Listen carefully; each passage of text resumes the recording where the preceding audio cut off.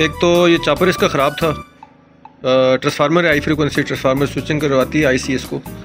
ये ख़राब था और दूसरा इधर एक आईसी लगती है S D six eight three four ये भी ख़राब थी और ये वैसे हमने निकाला है, रास्ता इसने रोका हुआ था आईसी निकल नहीं सकती थी। ये ठीक है कैपेसिटर इधर लगता है, इधर कहीं पड़ा होगा। ये वाला कैपेसिटर है, ठीक है जी। तो ये इसकी जो वाइंडिंग है, ये ब्रेक हो चुकी थी कहीं स्पार्क किया है तो इसने।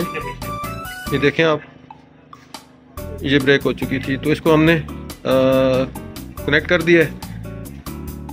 तो अभी ये जो है ना वो ओके हो गई है। ये इसकी आउटपुट है ये वाली। ये इसकी आउटपुट है एक पे 24 वोल्ट है और एक पे 15 वोल्ट है। और बाकी जो ये वाली है ये इसकी इनपुट है। 300 वोल्ट यहाँ पे आते हैं। पॉजिटिव नेगेटिव और ये एक्सिलरी बाइंडिंग है। एक्सिलरी बाइंडिंग इसकी फीडबैक के लिए इस्तेमाल होती है। तो अभी इसके अंदर हम आईसी लगाएँगे। आईसी बेस लगा के आईसी लगाएँगे। और उसके बाद फिर ट्रांसफार्मर चॉपर लगाएँगे इंशाल्लाह। फिर इसको ऑपरेशनल करते हैं। A few moments later. तो दोस्तों देखें अभी इसकी जो पावर सप्लाई थी 24 वोल्ट की वो ऑलमोस्ट ओके हो चुकी है। इसके यहाँ पे आप देख सकते हैं मीटर के ऊपर जो रिले को 24 वोल्ट आ रहे हैं वो हम जो है ना वो दिया हमने 25 वोल्ट आपको नज़र आ रहे हैं। ठीक है जी।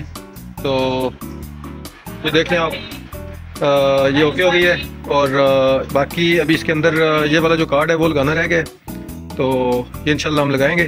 तो बाकी इसके जो चीज़ें हैं छोटी मोटी चीज़ें हैं ये कैपेसिटर पड़े हुए हैं बाहर। एक कैपेसिटर इसका यहाँ पे लगेगा। आ, दो कैपेसिटर इसके छोटे इधर लगेंगे। और ये वाला हमने लगा दिया है। और इसके अलावा जो पाँच वोल्ट का रेगुलेटर है, ये आपको नज़र आ रहा है। ये फाइव वोल्ट का रेगुलेटर है। तो ये भी हम इसमें इंस्टॉल करेंगे और इंशाल्लाह इसको रेडी कर देंगे। तो देखें जी, इसके अंदर जो बाकी कंपोनेंट थे, वो हमने सारे इंस्टॉल कर दिए ये कार्ड कंट्रोल कार्ड भी लगा दिया है। ये बड़े वाले दो कैपेसिटर हैं, ये भी लगा दिए और बाकी पीछे तो ऑलरेडी हमने चीज़ें लगा दी थी। तो ये कंट्रोल कार्ड में एक इशू था कि पावर सप्लाई इसको जब जाती है तो ये दो आईसी जो है ना मॉस्फेट एंड ड्यूअल मॉस्फेट ये दोनों शॉर्ट थे। तो इनको हमने रिप्लेस कर दिया इनकी जगह पे हमने नए आईसी लगा दिए ये देख लें। और एक आईसी ये वाला है S D three eight S D six eight three four six eight three four I C है ये पी पी डब्ल्यू एम ये देख लें। जगह हमने नया लगा दिया और बाकी अभी इसको हमने ऑन करना है और आपको इसकी पावर चेक कराते हैं।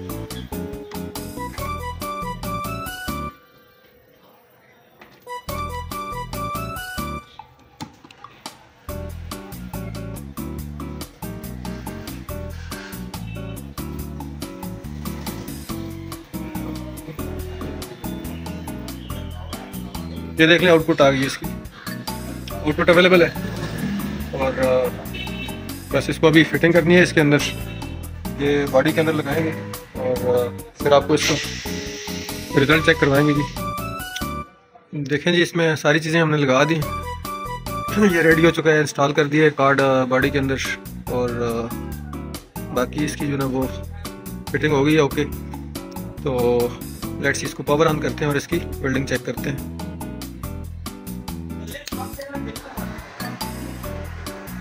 ऑन हो गया जी।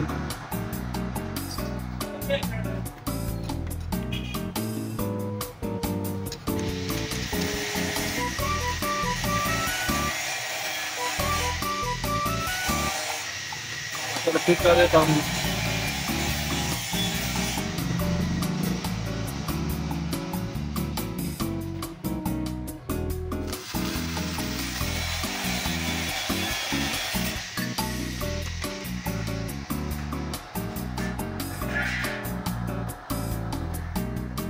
स्लो करके भी देख लें एक दफ़ा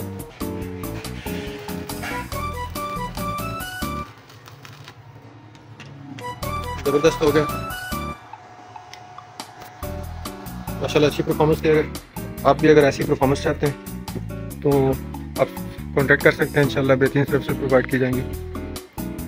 तो वीडियो को लाइक कीजिए शेयर कीजिए और सब्सक्राइब कीजिए चैनल को। Thank you very much